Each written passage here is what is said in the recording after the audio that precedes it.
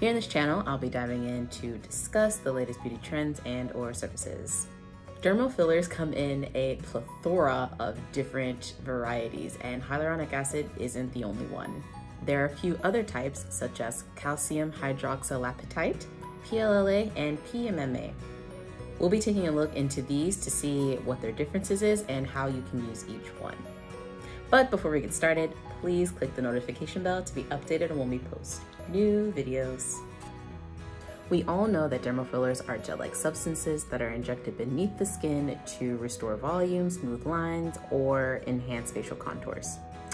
And dermal fillers are actually gaining a lot of momentum these days because they are able to achieve the same aesthetic improvements as surgery, as well as have little to no downtime versus surgery, for example.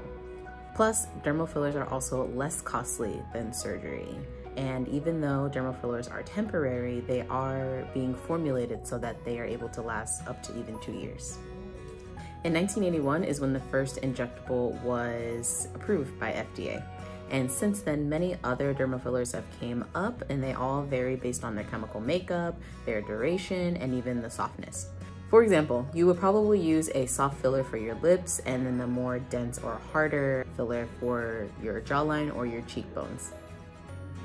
In general, these dermal fillers are categorized based off of the substance that they're made of. So let's take a look at some of the more common ones. Hyaluronic acid. Hyaluronic acid is one of the more popular dermal fillers out there. Hyaluronic acid is a substance that is naturally produced in the body, found in the skin, joints, and within the eye sockets, and also increases moisture, retains collagen, and provides elasticity and flexibility. Think of hyaluronic acid as a humectant in a way. It brings water in and it keeps it there.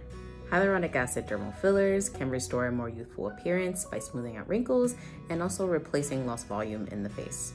Research has shown that multiple injections of hyaluronic acid can actually stimulate the production of collagen, resulting in added firmness and support. The duration of these fillers varies by product, but most of them last for several months to up to a year or two. Calcium hydroxylapatite. Calcium hydroxylapatite is also a naturally occurring substance in our bodies, but more specifically, it comes within our bones. It is a mineral-like compound, which makes it denser than hyaluronic acid and also one of the more heavier dermal fillers out there. According to the American Board of Cosmetic Surgery, calcium hydroxylapatite can stimulate the natural production of collagen and it is typically used for deeper lines and wrinkles. PLLA. PLLA is a synthetic substance, but it is biocompatible and biodegradable. In fact, before it was used for dermal fillers, it was used in the medical field for things such as dissolvable stitches. PLLA fillers are classified as collagen stimulators based on how they work. They help the skin to rebuild natural collagen and in turn, this smooths lines and wrinkles on the face. These fillers are typically used for deeper wrinkles and they can also produce results that last up to two years. PMMA is a synthetic and biocompatible substance that has been used for most of the last century in permanent surgical implants. When used as a dermal filler, PMMA takes the form of a microsphere or tiny ball that remains beneath the skin to provide continued support. PMMA fillers also contain collagen that provide additional structure and firmness to the skin.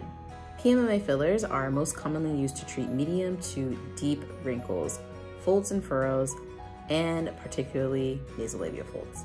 They can also be used for acne scars and also to augment the lips. The only drawback to PMMA fillers is that it requires multiple injections in order for it to be effective, and it does take a while for you to see the effectiveness of the filler. And there you have it. If there are any other topics that you would like to be covered, please leave a comment below. And don't forget to join us on our Facebook group and on Instagram where we post content weekly. See you next time.